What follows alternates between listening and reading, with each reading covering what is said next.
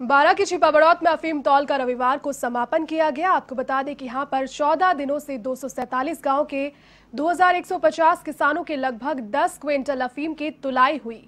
जिला अफीम अधिकारी राजेंद्र कुमार रजक ने इस पर बताया कि छबड़ा छिपा बड़ौत अटरू, सांगोद लाडपुरा और रामगंज मंडी के किसान अपनी अपनी अफीम लेकर वहाँ पहुँचे। यह अफीम की केमिकल जाँच पहले की गई तो वहीं कांग्रेस जिला सचिव ब्रजराज मीणा ने किसानों की ओर से अफीम की रेट बढ़ाने की मांग को लेकर जिला अफीम अधिकारी को ज्ञापन भी सौंपा। इस पर यूथ पेस फाउंडेशन ने कोरोना से बचाव के लिए कर्मचारियों को मास्क वितरित किए।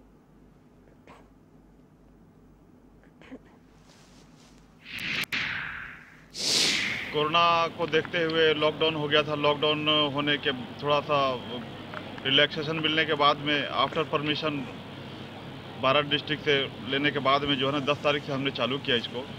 और जैसा आदेश था इनिशियली वो एक सौ तीस पैंसठ पैंसठ दो पारियों में ले करके इसको ख़त्म करना था।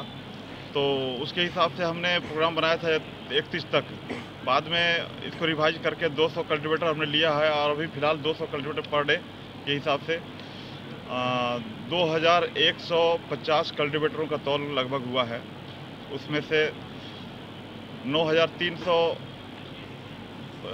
9300 किलो के आसपास जो है ना आज तक का जमा हुआ है। अभी तौल बाकी है आज का उसका रिकॉर्ड आने, आने हैं।